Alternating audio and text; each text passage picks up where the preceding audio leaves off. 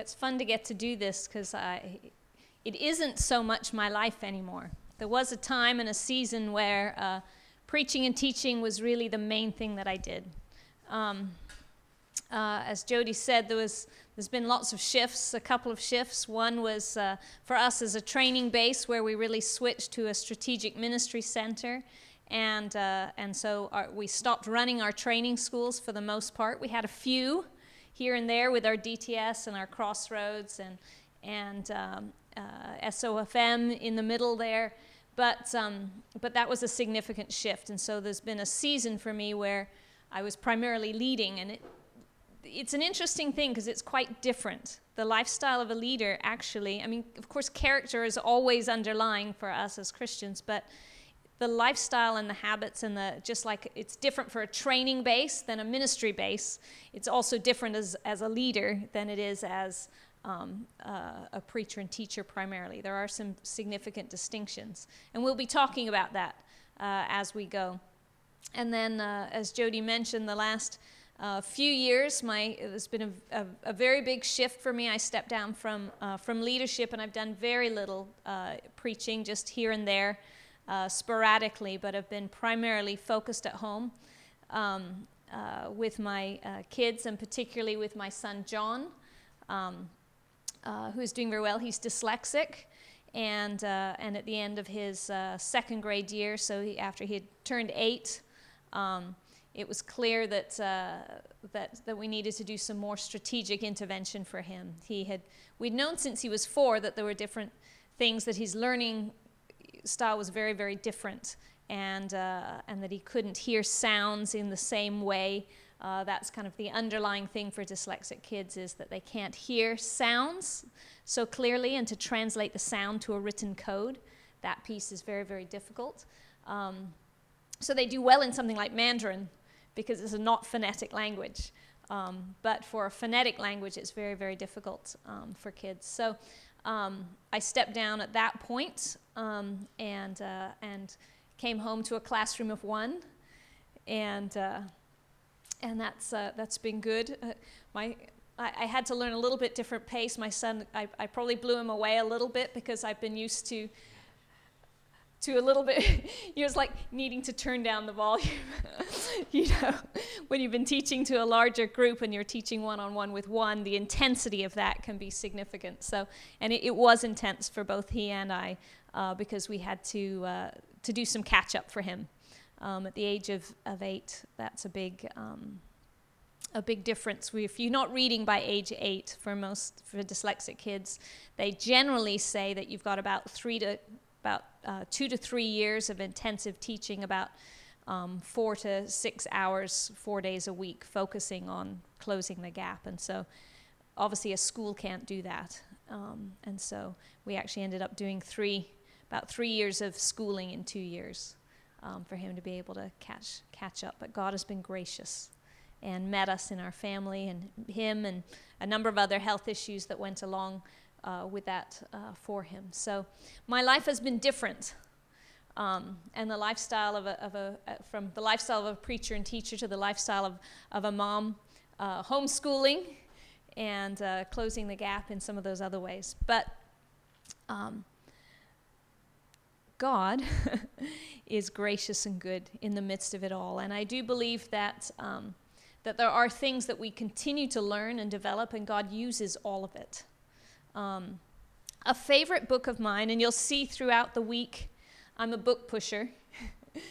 um, this is a book, Focused Lives, that uh, has had a significant uh, influence on me. It's by a man named J. Robert Clinton. Uh, he was a teacher at Fuller Seminary for many years. His, uh, his son Richard was, uh, was a pastor in, um, in the vineyard and had a significant influence on me and on Rick, um, he focuses on lives of preachers and teachers, ministers, and he looks at uh, kind of a timeline of their life to see what are the most significant things that influenced them and developed them and were foundational in shaping them in terms of their life and ministry. All right, so we'll draw from this significantly. And what we see um, as he focuses on the timelines of various people's lives, that it's not always neat. All right? It's really nice. We, we um, as believers and ministers, you know, we have our idea of what it should look like right? It should look like this. We, we do our study, we enter into ministry, and then it develops in this way, and then we get this, you know, this release, and it comes together, and, and our role and our capacity and our training all come together, and we have this great convergence, all right? And, uh, and there our ministry is launched, and we're super effective. And of course, that's the ideal. We would all love it to be that way, but how many of you have, have experienced that there's a lot of surprises in your journey with God. right? There's a lot of surprises in our journey with God. And, and uh, for me, this surprise of my son um, needing uh, this kind of intensive ministry that nobody else could do was a big surprise. That wasn't on my radar. And, uh, and of course, as somebody who believes in faith and, and asking God and pressing in and had seen lots of mountains moved, that was one particular mountain that, that didn't move. You know, what, what happens when a mountain doesn't move? What are your options? you, you know, got to go over it, under it, around it, you know? And, uh, and that's the reality of our lives as preachers and teachers. Our lives as ministers of the gospel is that there's times that God gives you faith and strength and, and uh, speaks to you, to, and mountains are moved in people's lives. But we also have to know how to help people and how to journey ourselves when a mountain doesn't move. And we have to make the adjustments, right? And that's significant. I'm sure, Joy, you can testify to that as a parent, right? There's lots of mountains that don't move, right? When you're not just by yourself and you've got to factor in husbands and wives and other people that you're working with. There's lots of situations that will, will um, uh, interrupt our lives. But God uses all of them. God doesn't waste any of them. And that's a very significant piece in this process as we look at the life of a preacher and teacher is how do we react and how do we respond when things don't go as we expect. All right, what I want us to do, and let, let me just pray for us first. And uh, this week, we're going to be especially looking at two primary components, all right? Through the school, of course, we're looking at character, all right, and competence. All right, for effective ministry, you've got to have both character and competence. Okay? Both of those are essential. I'll uh, write on the board as I know for second language is helpful. So, character and competence.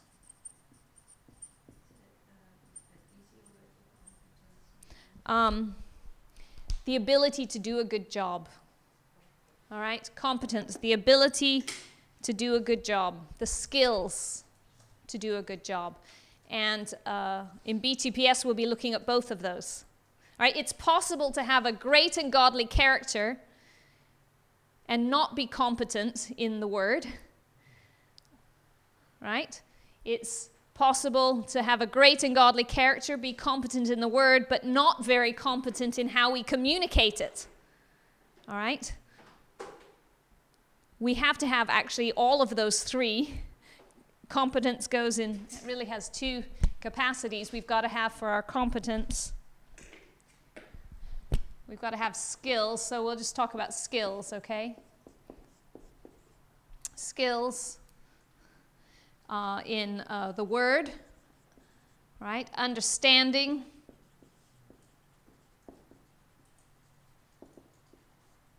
And then in communication.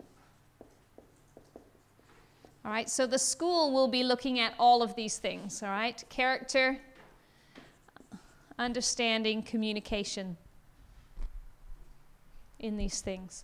And this week we're primarily focused here, although it, we see how this influences this. All right, character develops competence. Okay, and so we'll look at those things. Who is the preacher and teacher, all right, that has been most influential in your life? Okay, so who All right? And there may be more than one, but I'm looking for the I'm not looking for a long list. I want who's really stood out in being an influence in your life, all right? Who? And then I want you to tell me why. All right? And then specifically what it is about them. All right? What it is. Okay?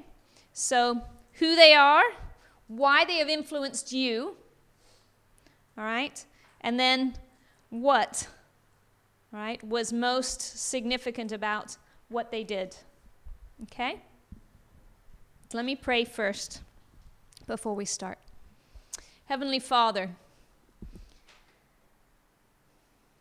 Heavenly Father, we are so grateful to you. You are the master teacher.